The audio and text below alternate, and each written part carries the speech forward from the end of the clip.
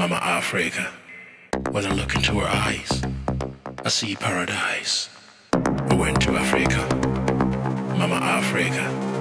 When I look into her eyes, I see paradise.